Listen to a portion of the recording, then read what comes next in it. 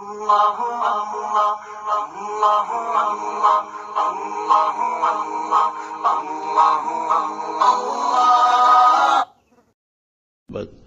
سب کے سردار حضرت محمد الرسول اللہ صلی اللہ علیہ وسلم ہیں، لہذا ان سے محبت کیجیے حضرت شاہ ولی اللہ صاحب فرماتے ہیں، حب الحبائب حرمان و منظمت وسق بحب رسول اللہ وتکلی یہ دنیا کے جو محبوب ہیں، ان کی محبت نہ محرومی اور شرمندگی ہے۔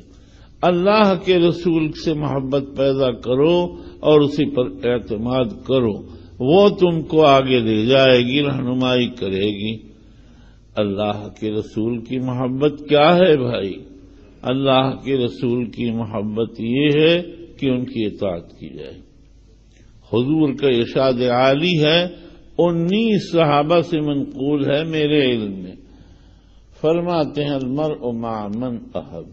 آدمی اس کے ساتھ ہوتا ہے جو جس سے محبت کرتا ہے۔ معمن احب، ساتھ ہونا۔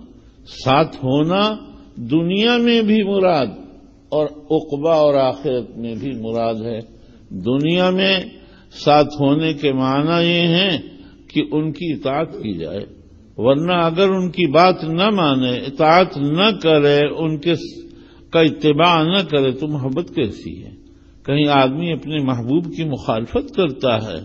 ہرگز نہیں۔ جب آپ اللہ کے رسول سے محبت پیدا کریں گے تو اس کے بعد پھر آپ کے اندر یہ جوہر بیدار ہو جائے گا۔ کہ اللہ کے رسول کا اتباع کیا جائے۔ اب رسول سے محبت کیسے پیدا ہوگی؟ یہ ہے ایک چیز۔ قاضی ایاد رحمت اللہ علیہ نے لکھا ہے کہ محبت نام ہے میل النفس کا۔ کسی چیز کی طرف دل کا مائل ہو جانا، جھک جانا۔ یہ پیدا اس وقت ہوگا جب آپ اس جھکاؤ کے اسباب پر غور کریں گے کہ یہ پیدا کیسے ہوتا ہے۔ یہ جو پیدا ہوتا ہے، اس کی دو قسمیں ہیں۔ اختیاری، اضطراری، بلا ارادہ ہو جائے، یہ تو ہوتا ہے قرابت میں، رشتہ داری میں۔ جیسی جس سے رشتہ داری ہوتی ہے، ویسے ہی اس سے محبت ہوتی ہے۔ اولاد کی محبت سب سے زیادہ ہوتی ہے۔ اس کے بعد والدین کی ہوتی ہے، پھر اعزا اقارب کی ہوتی ہے۔ یہ محبت باب ایمان میں مطلوب نہیں ہے، بلکہ وہ دوسری محبت جو اضطراری ہے، وہ مطلوب ہے۔ ایک مرتبہ حضرت عمر رضی اللہ عنہ نے کہا واللہ یا رسول اللہ، لانت احب الی من کل شین الا من نفسی۔ اے اللہ کے رسول، مجھے آپ ہر چیز سے زیادہ محبوب ہیں سوائے میری جان کے۔ حضور نے فرمایا، لا والذی نفسی بیدہی حتی اکون احبا الیکا من نفسکا ہرگز تم مومن نہیں ہو سکتے ہو جب تک کہ تم کو میں تمہاری جان سے زیادہ محبوب نہ ہو جاؤں۔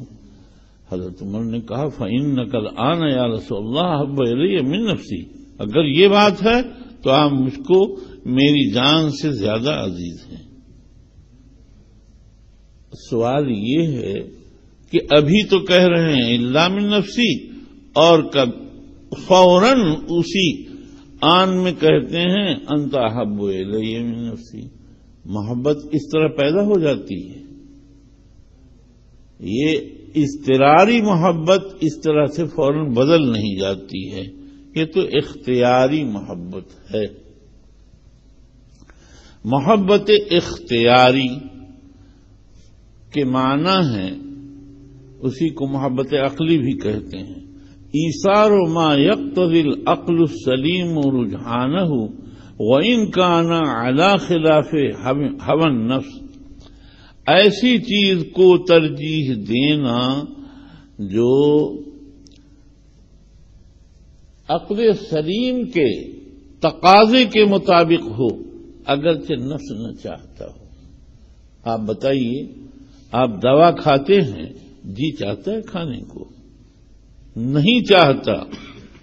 میں آپ کو سچ کہتا ہوں، یہ ٹیبلٹ ہے۔